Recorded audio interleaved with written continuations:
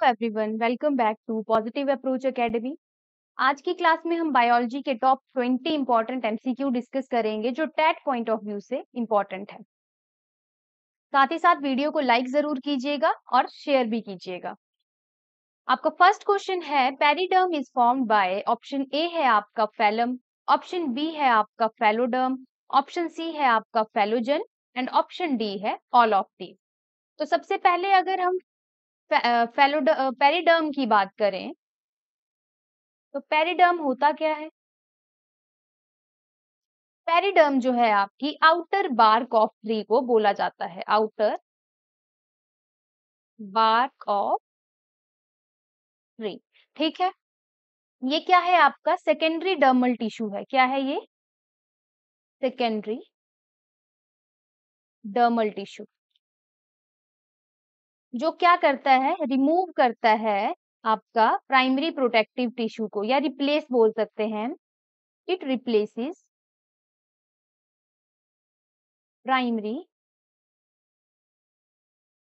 protective tissue protective tissue जो कि क्या है आपका, जैसे एपिडर्मिस एपिडर्मिस को ये क्या कर देता है रिप्लेस कर देता है। एपिडर्मिस की जगह आपका आ जाता है पेरिडर्म फ़ंक्शन क्या है इसका? अगर हम इसके फ़ंक्शन की बात करें तो प्रोटेक्शन तो मेन फ़ंक्शन है इसका। किसकी प्रोटेक्शन करेगा? ये स्टेम एंड रूट की protection of stem and root important points है एग्ज़ाम में क्वेश्चन बनता है इन पॉइंट से भी। अब हम बात करें तो ये किस किस से बना होता है? तो ये थ्री लेयर से बन, मिलकर बना होता है। कौन कौन सी है आपकी? फैलम सेकंड है आपकी फैलोजन थर्ड है आपकी फेलोडर्म तो तीन लेयर से मिलकर आपका पेरिडर्म बना होता है। अगर हम फैलम की बात करें, क्वेश्चन आते हैं इनसे एग्ज़ाम में जो मैं अभी पॉइंट्स लिखवा रही हूँ आपको तो आपको ध्यान से सुनने इसको बोला जाता है कॉर्क। फैलम को क्या बोला जाता है? कॉर्क। फेलोजन की बात करें, इसको बोला जाता है कॉर्क कैम्बियम। क्या बोला जाता है? Cork cambium. फेलोडम को बोला जाता है आपका लिविंग पेरेनकाइमा ठीक है? अगर फैलम की बात करें हम तो ये आपकी आउटर मोस्ट लेयर होती है। आउटर मोस्ट लेयर नेक्स्ट जो फैलम है, ये आपका क्या क्या कंपोजिशन होती है आपकी फैलम की? वैक्स एंड ट्यूबेरिन एग्ज़ाम में आ सकता है आपसे क्वेश्चन पूछा जा सकता है कि फैलम की कंपोजिशन दी होगी कौन कौन सी है तो क्या प्रेजेंट होता है? वैक्स और सुबेरिन फैलोजन को और क्या बोलते हैं? ऐसा क्वेश्चन आ सकता है तो कॉर्क कैम्बियम फैलोडम को और क्या बोलते हैं? लिविन पेरेनकाइमा तो इस तरह से एग्ज़ाम में आपसे क्वेश्चन पूछे जा सकते हैं। नेक्स्ट जो है हमारा क्वेश्चन है epiblema is the characteristic of epiblema किसका कैरेक्टरिस्टिक है? ऑप्शन ए है आपके पास मोनोकॉट रूट्स ऑप्शन बी है डाइकॉट रूट्स ऑप्शन सी है आपका। डाइकॉट रूट, ऑप्शन बी है डाइकॉट स्टेम, ऑप्शन डी है मोनोकॉट स्टेम। ऊपर वाले क्वेश्चन में हमने आंसर टिक नहीं किया तो पेरिडम मैंने आपको जैसे कि बताया थ्री लेयर से मिलकर बना होता है तो इसका आंसर हो जाएगा all of the phellem phelloderm and phellogen बात करते हैं नेक्स्ट क्वेश्चन की तो ऑप्शन हमने रीड कर लिए तो एपीब्लेमा किसका कैरेक्टरिस्टिक फीचर है? सबसे पहली बात एपीब्लेमा रूट्स में पाया जाता है। किसमें पाया जाता है? रूट्स में। किन किन की रूट्स में? तो ये पाया जाता है आपका मोनोकॉट रूट में एंड डाइकॉट रूट में, दोनों में पाया जाता है। तो आपको याद रखना है कि रूट्स में पाया जाता है एपीब्लेमा। थोड़ा सा डिस्कस कर लेंगे इसको भी। अब अगर हम एपीब्लेमा की बात करें तो ये रूट्स में होता है, जैसा कि मैंने बताया आपको। और क्या होता है ये? Outer most covering of root होती है हमारी एपीब्लेमा। क्या बोलते हैं इसको? Outer most covering of roots साथ ही साथ इसमें क्या प्रेजेंट होते हैं? रूट हेयर्स एपिब्लेमा में क्या होते हैं? रूट हेयर्स प्रेजेंट होते हैं इस लेयर में। जिसकी वजह से इसको क्या बोला जाता है? एक और नाम जो है इसका वो है piliferous layer piliferous layer क्यों बोला जाता है? Due to presence of root hair ठीक है? नेक्स्ट हम बात करें इसका रोल तो एपीब्लेमा क्या करता है? एपीब्लेमा का रोल प्रोटेक्शन का है। एक तो ये आपकी रूट्स की प्रोटेक्शन करता है। प्रोटेक्शन ऑफ़ रूट्स अब रूट हेयर्स प्रेजेंट है। तो रूट हेयर का रोल हमें पता है absorption of water and mineral है। तो साथ ही साथ ही इसका सेकेंड जो फ़ंक्शन है वो है absorption of water and mineral from soil ठीक है? ये तो था इस क्वेश्चन में जो इंपॉर्टेंट पॉइंट्स मैंने आपको बता दिए हैं। ऑप्शन ए एंड सी इसका करेक्ट आंसर है। नेक्स्ट क्वेश्चन है आपका, jute fibres are obtained from. Jute fibres कहाँ से मिलती है? ऑप्शन ए है जाइलम, ऑप्शन बी है एंडोडर्म, ऑप्शन सी है पिप ऑप्शन डी है सेकेंडरी फिलोएम तो देखिए, जूट फाइबर जो है वो मिलती है हमें सेकेंडरी फिलोएम से। किससे मिलती है? सेकेंडरी फिलोएम से। डिस्कस कर लेते हैं थोड़ा सा जूट फाइबर्स को। तो जो जूट फाइबर्स होती हैं, उनको बोला जाता है बास्ट फाइबर्स क्या बोला जाता है? बास्ट फाइबर अब बास्ट फाइबर ऐसी फाइबर्स होती हैं, जिनको ऑप्टेन किया जाता है फ्रॉम स्किन या पास्ट ऑफ़ सेकेंडरी फिलोएम जो सेकेंडरी फिलोएम से बनती हैं। बास्ट फाइबर किससे बनती हैं? ऑप्टेन फ्रॉम क्वेश्चन पूछ सकते हैं एग्ज़ाम में ऑप्टेन फ्रॉम स्किन या फिर पास्ट ऑफ़ सेकेंडरी फिलोएम ठीक है? जूट फाइबर्स नेक्स्ट जो इंपॉर्टेंट क्वेश्चन बनता है इससे किस प्लांट से जो है हमें जूट फाइबर मिलती है। तो जो जीनस आपका कॉर्कोरस जीनस से जो है कॉर्कोरस जो जीनस है, उससे हमें क्या मिलती है? जूट फाइबर्स कौन सा जीनस है? कॉर्कोरस आपको याद रखना है एग्ज़ाम में पूछा जा सकता है। नेक्स्ट इंपॉर्टेंट पॉइंट जो इससे बनता है वो है कि जूट फाइबर्स किस किस से मिलकर बनी होती है? क्या होता है इनमें कॉन्स्टिट्यूएंट्स पार्टिकल तो वो है आपका सेलुलोज साथ ही साथ आपका लिग्निन इंपॉर्टेंट है ये पॉइंट भी। तो ये सेलुलोज और लिग्निन से मिलकर बने होते हैं। नेक्स्ट क्वेश्चन है आपका mast cell secrete option A है आपका हिपेरिन ऑप्शन बी है आपका मायोग्लोबिन ऑप्शन सी है हिस्टामिन एंड ऑप्शन डी है आपका हेमोग्लोबिन तो देखिए मास्ट सेल सिक्रीट करते हैं आपके हिपेरिन को, साथ ही साथ हिस्टामिन को भी। तो ऑप्शन ए और सी जो है इसके करेक्ट है। अगर हम मास्ट सेल की बात करें, जो मास्ट सेल है आपके, इनको और किस नाम से बोला जाता है? अनदर नेम क्या है इनका? तो मास्ट सेल को हम मास्टोसाइट भी बोलते हैं। क्या बोलते हैं? मास्टोसाइट ये नेम आपको पता होने चाहिए। हो सकता है एग्ज़ाम में मास्टोसाइट लिखा हो मास्ट सेल की वजह से जगह। In place of mast cell mastocyte लिखा गया हो तो आपको पता होने चाहिए नेम इंपॉर्टेंट है। साथ ही साथ इसको लेब्रोसाइट्स भी बोलते हैं। लेब्रोसाइट ये तो हो गई इसकी अनदर नेम अब ये पाई कहाँ जाती है? मास्ट सेल तो ये कहाँ फाउंड होते हैं? फाउंड इन म्यूकस मेम्ब्रेन कहाँ पे? म्यूकस मेम्ब्रेन में इंपॉर्टेंट क्वेश्चन है म्यूकस मेम्ब्रेन में। और कहा होते हैं आपके? कनेक्टिव टिश्यू में भी मास्क सेल पाए जाते हैं। कनेक्टिव टिश्यू में भी आपके क्या होते हैं? मास्ट सेल ठीक है? अब नेक्स्ट जो इंपॉर्टेंट पॉइंट है वो है कि ये सिक्रीट क्या क्या करते हैं? तो ये सिक्रीट करते हैं आपके हिपेरिन साथ ही साथ हिस्टामिन भी सिक्रीट करते हैं ये सीरोटोनिन भी सिक्रीट करते हैं, और ये साइटोकाइन भी सिक्रीट करते हैं। तो इस तरह के जो कंपाउंड हैं ये सिक्रीट करते हैं या केमिकल हम बोल सकते हैं ये सिक्रीट करते हैं। सिक्रीट कब करेंगे? मास्ट सेल जब ये एक्टिवेट होते हैं इनएक्टिवेटेड स्टेट में ये सिक्रीट कुछ भी नहीं करेंगे। नेक्स्ट हम बात कर लेते हैं, जो ऑप्शंस हैं, इनको भी डिस्कस कर लेते हैं, क्योंकि क्वेश्चन आ सकता है यहाँ से भी। क्वेश्चन बनता है इंपॉर्टेंट है। तो सबसे पहले अगर हम बात करें हिस्टामिन की तो हिस्टामिन क्या है आपका? क्या करता है ये? ये करता है allergy symptom cause cause allergy symptom, ठीक है? नेक्स्ट है आपका हिपेरिन। हिपेरिन क्या है? एक एंटी कोएगुलेंट है। क्या है ये? एंटी कोएगुलेंट एग्ज़ाम में क्वेश्चन आते हैं इस टाइप से, पूछे जाते हैं कि एंटी कोएगुलेंट इनमें कौन सा है तो आपको पता होना चाहिए हिपेरिन क्या है एंटी कोएगुलेंट नेक्स्ट है आपका मायोग्लोबिन। तो मायोग्लोबिन आपका मसल्स में प्रेजेंट होता है। क्या करता है ये? Oxygen supply to muscle O two supply करता है टू मसल नेक्स्ट है आपका हीमोग्लोबिन शॉर्ट में ही लिख रही हूँ। हीमोग्लोबिन क्या है? ये ऑक्सीजन सप्लाई करता है आपका आरबीसी को। ऑक्सीजन सप्लाई टू आरबीसी ठीक है? नेक्स्ट क्वेश्चन देखते हैं। नेक्स्ट क्वेश्चन है आपका compound eyes are found in option A है कॉकरोच ऑप्शन बी है राउंड वॉर्म ऑप्शन सी है अर्थ वॉर्म ऑप्शन डी है आपका फ्रॉग तो कंपाउंड आईज हैं, वो पाई जाती हैं कॉकरोच में. Option A will be your correct answer अब अब हम बात करें कंपाउंड आईज और कहाँ कहाँ पाई जाती है? कंपाउंड आईज किसमें होती हैं? तो कंपाउंड आईज और होती हैं आपकी अर्थ्रोपोड्स में अर्थ्रोपोड्स में और क्रस्टेशियंस में भी जो है कंपाउंड आईज होती हैं क्रस्टेशियंस में भी। नेक्स्ट क्वेश्चन है आपका which of the following is the simplest amino acid simplest amino acid पूछा गया है।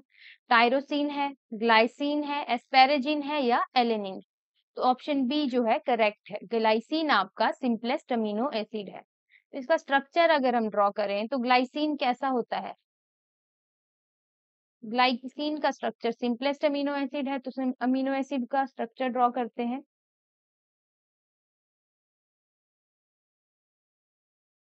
जो आर ग्रुप होता है, वहाँ पे इसमें हाइड्रोजन होता है। ये क्या है आपका? आर ग्रुप अगर हम अमीनो एसिड्स की बात करें तो ये बिल्डिंग ब्लॉक ऑफ़ प्रोटीन होते हैं। क्या होते हैं amino acids building block of protein two functional group present होते हैं इनमें। कौन कौन से होते हैं? NH2 अमीनो ग्रुप और कार्बोक्साइल ग्रुप ठीक है? नाइन असेंशियल अमीनो एसिड है। क्वेश्चन आता है यहाँ से। नाइन असेंशियल अमीनो एसिड्स होते हैं। टोटल ट्वेंटी है out of which nine are essential जो कि है हिस्टिडिन हिस्टिडिन आपका असेंशियल अमीनो एसिड है। एग्ज़ाम में क्वेश्चन आते हैं ऑप्शन में अमीनो एसिड दिए गए होंगे और आपको पूछा होगा कि कौन सा इनमें से असेंशियल है या कौन से नॉन असेंशियल है तो आपको याद होने चाहिए कि कौन कौन से जो है असेंशियल है। तो हिस्टिडीन आपका असेंशियल है ल्यूसिन आपका असेंशियल अमीनो एसिड है लाइसिन आपका असेंशियल अमीनो एसिड है नेक्स्ट आपका थ्रियोनिन है, फिर आपका मिथियोनिन भी एक असेंशियल अमीनो एसिड है आइसोल्यूसिन हो गया ट्रिप्टोफैन हो गया। फिनाइल एलानिन भी आपका, अमीनो एसिड है एसेंशियल फिनाइल एलानिन। और आपका वलीन, जो वेलीन है वो भी असेंशियल अमीनो एसिड है। नेक्स्ट क्वेश्चन देखते हैं। नेक्स्ट क्वेश्चन है आपका क्वेंटोजोम्स आर प्रेजेंट इन क्वेंटोजोम्स कहाँ होते हैं? ऑप्शन ए है स्ट्रोमा बी है ग्रेना सी है माइटोकॉन्ड्रिया एंड डी है गोल्जी बॉडी तो क्वेंटोजोम्स आपके प्रेजेंट होते हैं ग्रेना में. Option B is your correct answer अब जो ग्रेना है, वो कहाँ पाए जाते हैं? जो ग्रेना है, वो पाए जाते हैं आपके क्लोरोप्लास्ट में. ठीक है? क्वेंटोजोम की अगर हम बात करें तो क्या है ये? क्वेंटोजोम है आपका unit of photosynthesis unit of photosynthesis को बोला जाता है क्वेंटोजोम। इंपॉर्टेंट है, एग्ज़ाम में पूछ सकते हैं इस टाइप के क्वेश्चन। होता क्या क्या है इसमें? Quantasome consist, photosynthetic pigments present होते हैं इसमें। Photosynthetic pigments. रिडॉक्स कैरियर भी होते हैं क्वेंटोजोम में। और आपके 250 से 300 तक क्लोरोफिल कंपाउंड्स होते हैं। क्लोरोफिल मॉलिक्यूल्स हम बोल सकते हैं। क्लोरोफिल मॉलिक्यूल्स जो हैं, प्रेजेंट होते हैं क्वेंटोजोम। ठीक है? नेक्स्ट क्वेश्चन देखते हैं। A cell swells up when kept in cell कब स्वेल करेगा? हाइपोटोनिक सॉल्यूशन में, हाइपरटोनिक सॉल्यूशन में, आइसोटोनिक सॉल्यूशन में या नन ऑफ़ दीज तो इसका करेक्ट आंसर है आपका option A, hypotonic solution. Discuss कर लेते हैं इस क्वेश्चन को। काफ़ी इंपॉर्टेंट क्वेश्चन है। एग्ज़ाम में इस क्वेश्चन ऐसे इस टाइप के क्वेश्चन देखे जाते हैं एग्ज़ाम में।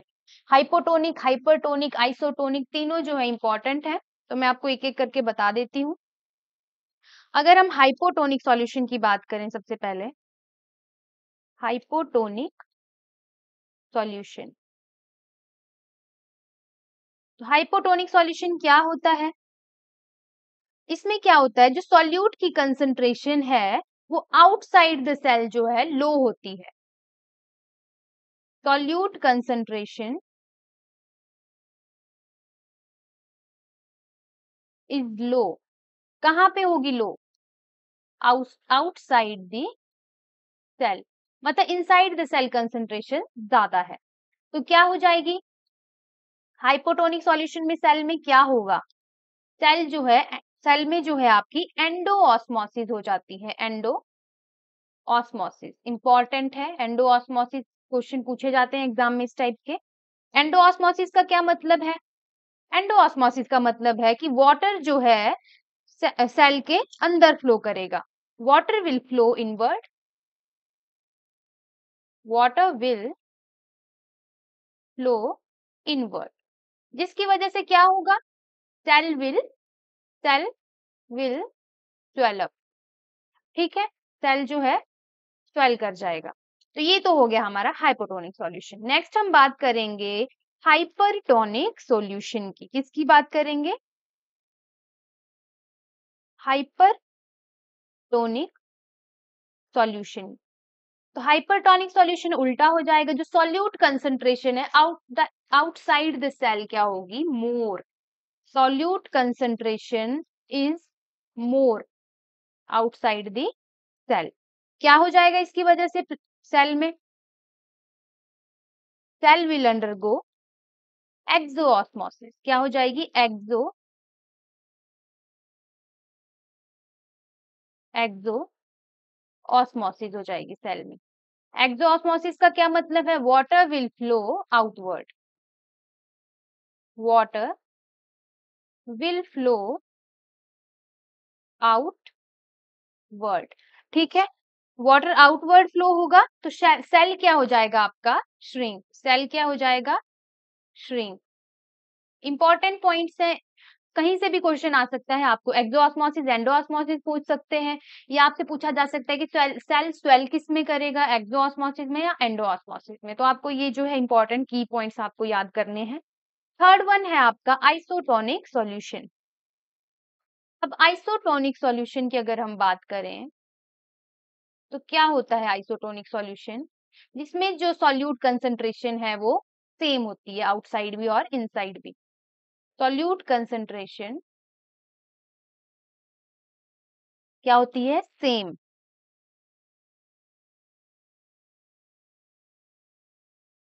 inside and outside the cell तो no net flow of water water का कोई फ्लो नहीं होगा, ना इनवर्ड ना outward therefore no net flow of water ठीक है? ये हो गया आपका hypertonic hypotonic and isotonic solution next question है आपका cell theory is not applicable for option A है आपका बैक्टीरिया, ऑप्शन बी है फंगस, ऑप्शन सी है एल्गी, ऑप्शन डी है वायरस। तो देखिए, बहुत इजी क्वेश्चन है डायरेक्ट क्वेश्चन है सेल थ्योरी एप्लीकेबल नहीं होती है वायरसेस के लिए। ठीक है? एक्सप्लेन करने की इसमें कोई कुछ है नहीं। तो सिंपल सा आंसर है कि वायरस जो है सेल थ्योरी के लिए एप्लीकेबल नहीं होते हैं। ये एक्सेप्शनल केसेस हैं। नेक्स्ट क्वेश्चन है आपका the enzyme that cuts DNA DNA को कट कौन करता है? कौन सा एंजाइम है? डीएनए लाइएज है डीएनए लाइगेज है डीएनए पॉलीमरेज या फिर रिस्ट्रिक्शन एंडो न्यूक्लियस तो डीएनए को कट करता है आपका रिस्ट्रिक्शन एंडो न्यूक्लियस कौन सा एंजाइम करता है डीएनए को कट रिस्ट्रिक्शन एंडो न्यूक्लियस अगर हम डीएनए लाइगेज की बात करें तो डीएनए लाइगेज क्या है? क्या करता है? ये डीएनए रिपेयर एंड रेप्लीकेशन में हेल्प करता है, डीएनए। रेप्लिकेशन में यूज़ होता है। और रिपेयर में भी। रोल क्या है इसका? ये क्या करता है? डीएनए फ्रेगमेंट्स को बाइंड करता है। बाइंड डीएनए फ्रेगमेंट क्वेश्चन पूछा जा सकता है यहाँ से भी। नेक्स्ट है आपका डीएनए पॉलीमरेज क्या है? डीएनए पॉलीमरेज डीएनए रेप्लिकेशन में one of the most important enzyme है आपका डीएनए पॉलीमरेज किसमें रोल प्ले करेगा डीएनए रेप्लिकेशन में. अब डीएनए पॉलीमरेज क्या करता है? फॉर्मेशन ऑफ़ न्यू स्ट्रैंड क्या करेगा ये? फॉर्मेशन ऑफ़ फॉर्मेशन या सिंथेसिस बोल सकते हो आप। Formation of new DNA strand ठीक है? नेक्स्ट है आपका डीएनए लाइएज डीएनए लाइएज तो डीएनए लाइएज क्या करता है? डीएनए लाइएज क्लीवेज में हेल्प करता है। ये क्या करेगा? बॉन्ड्स को ब्रेक करेगा। ठीक है? तो नेक्स्ट क्वेश्चन देखते हैं। नेक्स्ट क्वेश्चन है आपका। Plant cell attain turgidity due to plant cell attain करता है turgidity due to option A है आपका इलेक्ट्रोलिसिस ऑप्शन बी है एक्सोऑस्मोसिस ऑप्शन डी है एंडोऑस्मोसिस ऑप्शन डी है प्लाज्मोलिसिस तो टर्जिडिटी प्लांट कब अटेन करता है? बहुत ही सिंपल क्वेश्चन है। अभी ऊपर हमने डिस्कस किया है। तो इसका आंसर आप कर सकते हैं खुद। तो आप जो है इस क्वेश्चन का आंसर खुद करेंगे कमेंट बॉक्स में। इस क्वेश्चन का आंसर आपको खुद करना है, ठीक है? तो इस क्वेश्चन को आप करेंगे आंसर कमेंट बॉक्स में कीजिएगा। इजी है। माफ़ कीजिएगा। तो कमेंट बॉक्स में आंसर कीजिएगा। अगर टर्जिडिटी की हम बात करें तो टर्जिडिटी में आपको बता देती हूँ टर्जिडिटी का मतलब है स्वेल हो जाना। सेल का स्वेल हो जाना। तो सेल की स्वेलिंग कब होती है? ठीक है? वो आपने कमेंट बॉक्स में बताना है मुझे इसका आंसर नेक्स्ट क्वेश्चन है आपका the factor most important in regulating transpiration is transpiration में मोस्ट इंपॉर्टेंट फैक्टर पूछा गया है. ऑप्शन ए है आपका टेम्परेचर ऑप्शन बी है आपका लाइट ऑप्शन सी है आपका विंड ऑप्शन डी है आपका रिलेटिव ह्यूमिडिटी तो देखिए ऑल फोर जो ऑप्शंस हैं, ये ट्रांसपीरेशन में रोल प्ले करती हैं, लेकिन आपसे पूछा गया है मोस्ट इंपॉर्टेंट तो मोस्ट इंपॉर्टेंट है आपका लाइट ठीक है? अब इसको डिस्कस कर लेते हैं। ट्रांसपीरेशन क्या होता है? सबसे पहले ट्रांसपीरेशन की अगर हम बात करें तो व्हाट इज़ ट्रांसपीरेशन ट्रांसपीरेशन क्या होता है? प्लांट जो है वाटर को गिव ऑफ़ कर देते हैं through stomata plant give off water through stomata ठीक है? अब जो लाइट है, वो कैसे रोल प्ले कर रही है? लाइट क्या कर रही है ऐसा? तो लाइट देखिए आपका क्या करती है? ये ओपनिंग ऑफ़ स्टोमेटा करती है। क्या करेगी? एक तो ओपनिंग ऑफ़ स्टोमेटा करती है। लाइट की वजह से स्टोमेटा ओपन होंगे। और क्या क्या करती है? ये स्पीड अप कर देती है प्रोसेस को। ट्रांसपीरेशन जो प्रोसेस है, वो लाइट क्या करती है? उसको स्पीड अप कर देती है। स्पीड अप द प्रोसेस कैसे करेगी? By warming up the leaves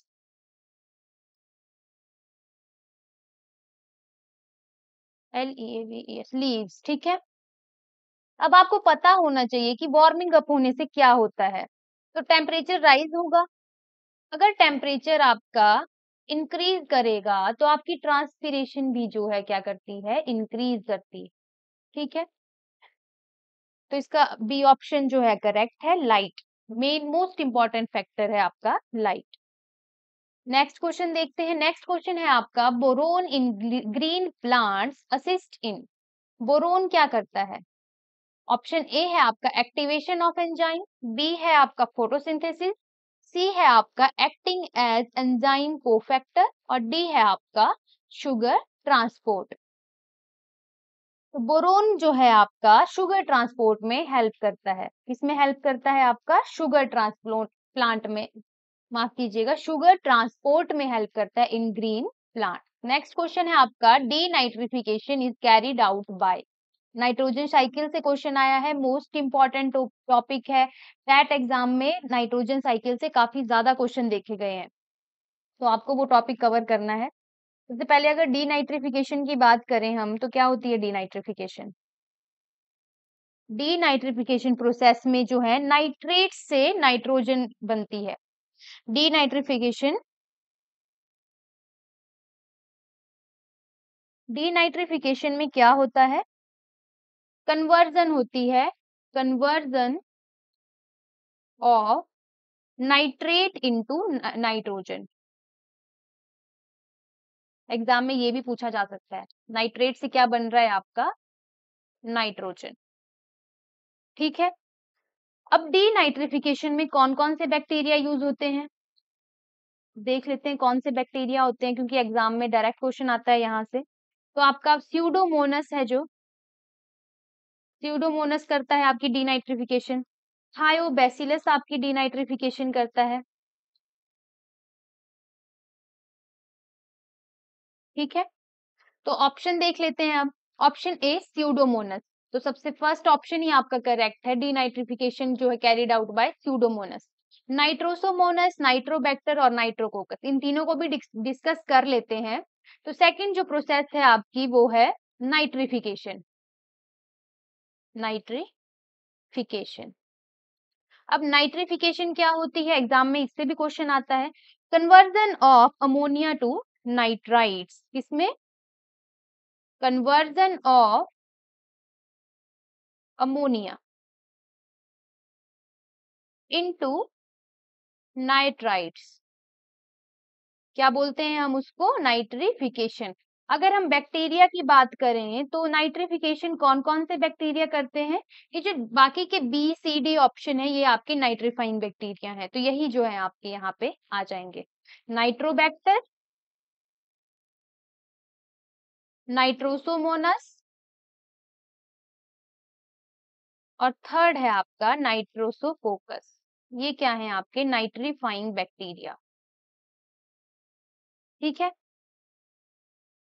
next question देखते हैं। नेक्स्ट क्वेश्चन है आपका। Kranz anatomy is observe in option A है C two plants option B है C three plants option C है C four plant and option D है आपका C A M CAM plants तो क्रेन्स एनाटॉमी देखी जाती है option C C four plants में। किसमें देखी जाती है? सी फोर प्लांट्स में इंपॉर्टेंट है ये भी। जो सी फोर प्लांट होते हैं, अगर उसका हम एग्ज़ाम्पल देखें तो सी फोर प्लांट का एग्ज़ाम्पल क्या होता है? पता होना चाहिए आपको। एग्ज़ाम में पूछ सकते हैं एग्ज़ाम्पल दिए हो हो सकता है सी फोर प्लांट उनमें से पूछा हो कौन सा है। तो मेज जो है आपका एक सी फोर प्लांट है, ठीक है? अब क्रंज जो है क्रंज वर्ड का मतलब क्या है? What does Kranz word mean Kranz का मतलब है आपका रिंग क्या मतलब है? रिंग या फिर wreath R E A, T, H, ठीक है? ये तो हो गया इसका मतलब। अब सी फोर प्लांट जो होते हैं, उनमें जो है केरेंजेनोटमी देखी जाती है। केरेंजेनोटमी में क्या होगा आपका? जो मीजोफिल सेल है, वो क्लस्टर बनाते हैं अराउंड जो आपके बंडल शीट सेल होते हैं। टू टाइप के सेल होते हैं मीजोफिल सेल क्या बना देंगे? क्लस्टर बना देंगे। अराउंड किसके? बंडल शीट सेल के। ठीक है? मीजोफिल सेल जो है, किस तरह से अरेंजमेंट होगी? एग्ज़ाम्पल देख लेते हैं एक डायग्रामेटिक मान लीजिए ये मीजोफिल सेल है।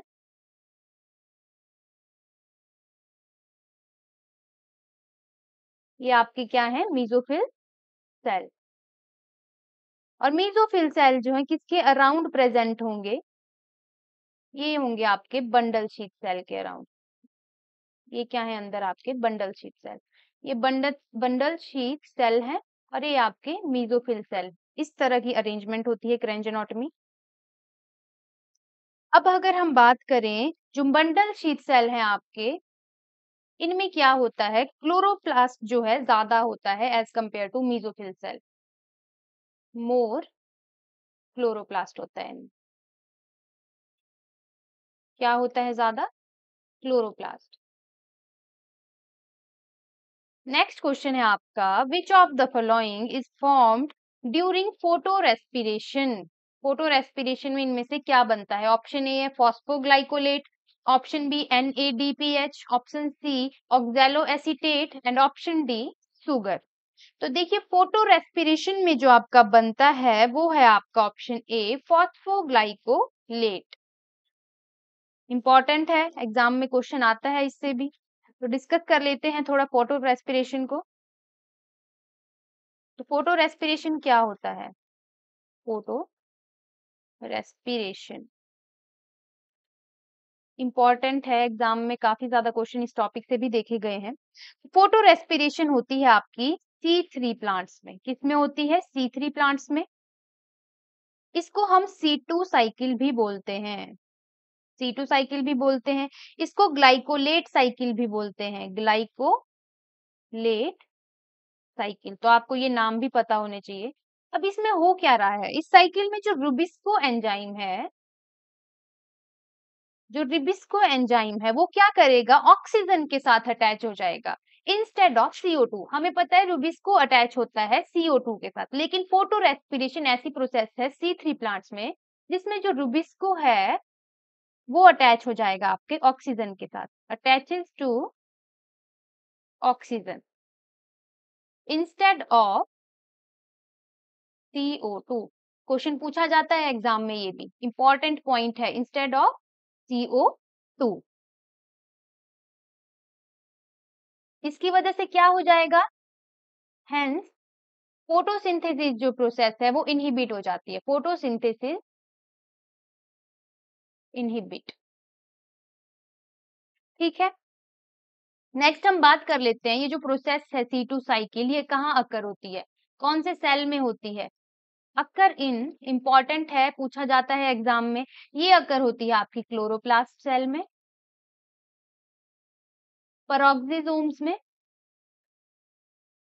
और आपके माइटोकॉन्ड्रिया में। माइटोकॉन्ड्रिया में। ठीक है? नेक्स्ट जो है, ये एक वेस्टफुल प्रोसेस है। कैसी प्रोसेस है ये एक?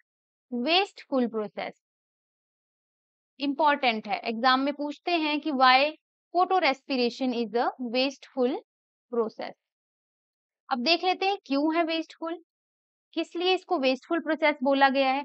सबसे पहली बात, इसमें जो एटीपी है, वो यूज़ होता है। एटीपी इज़ यूज़ जबकि एटीपी बनना चाहिए। तो एटीपी बनता नहीं है, नो एटीपी सिंथेसिस।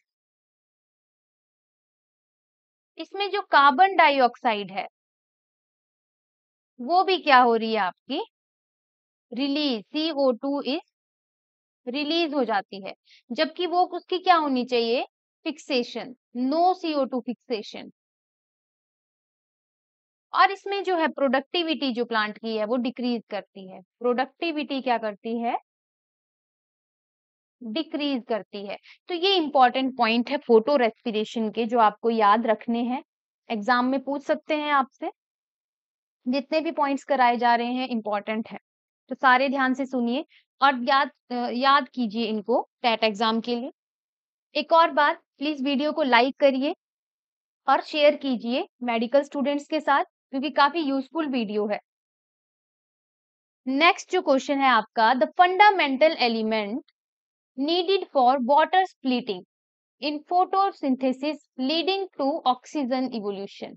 तो आपसे फंडामेंटल एलिमेंट पूछा गया है, कौन सा है जो स्प्लिटिंग ऑफ़ वाटर में हेल्प करता है ड्यूरिंग फोटोसिंथेसिस तो आपके ऑप्शन है मॉलीबेडनम बी है मैंगनीज सी है मैग्नीशियम एंड डी है आपका पोटाशियम तो देखिए, इसका जो करेक्ट आंसर है वो है आपका ऑप्शन बी मैंगनीज याद रखिए इंपॉर्टेंट है। अगर हम मैंगनीज की बात करें तो ये क्या करता है? फोटोलिसिस ऑफ़ वाटर जो मैंगनीज एलिमेंट है आपका, ये रोल प्ले करता है इन फोटोलिसिस ऑफ़ वाटर जो कहाँ पे हो रही है? फ़ोटो सिस्टम किसमें वन या टू में? फ़ोटो सिस्टम टू में हो रही है। पूछा जाता है कई बार ये क्वेश्चन भी कि फोटोलिसिस ऑफ़ वाटर कौन से फ़ोटो सिस्टम में होती है? तो फ़ोटो सिस्टम टू में। नेक्स्ट क्वेश्चन है आपका the site of glycolysis glycolysis की साइट क्या है?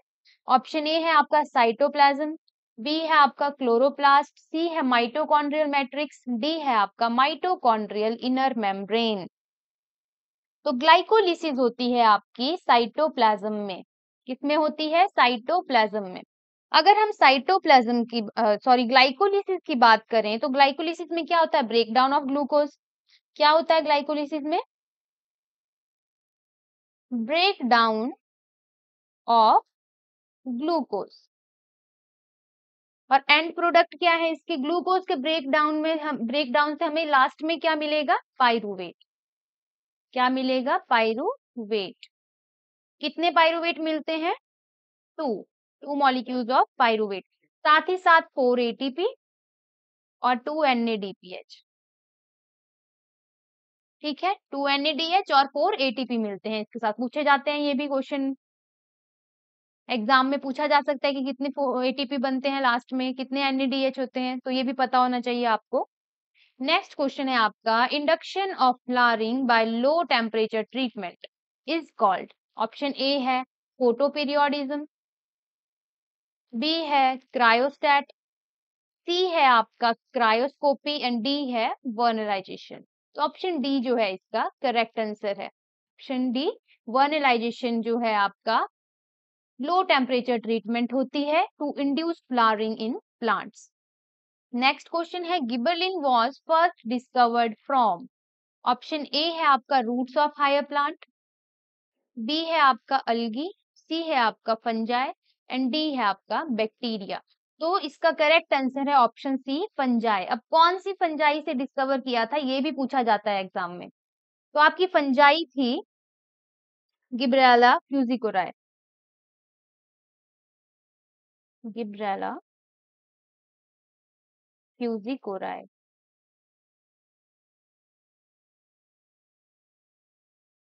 ठीक है? इंपॉर्टेंट नाम है आपको याद रखना है। फंजाई पूछा जाता है कौन सी फंजाई से जो है गिबलिन डिस्कवर किए थे। और किस प्लांट में? ये भी पूछा जाता है। राइस प्लांट में। डिज़ीज़ कौन सी हुई थी? ये भी पूछा जाता है। जो डिज़ीज़ थी उसका नाम था foolish seedling disease foolish seedling disease या फिर बकाने डिज़ीज़। बकाने डिज़ीज़। और किसने किया था डिस्कवर आपका? तो जिसने डिस्कवर किया था, डिस्कवर्ड बाय वो थे आपके कुरुसावा। ये इंपॉर्टेंट क्वेश्चन बनते हैं इससे। आज की वीडियो में इतना ही। धन्यवाद। वीडियो को लाइक, शेयर करना ना भूलिएगा। और साथ ही साथ जो क्वेश्चन आपको होमवर्क मिला है, जिसका आंसर आपको कमेंट बॉक्स में करना है, उसे ज़रूर कीजिएगा। धन्यवाद।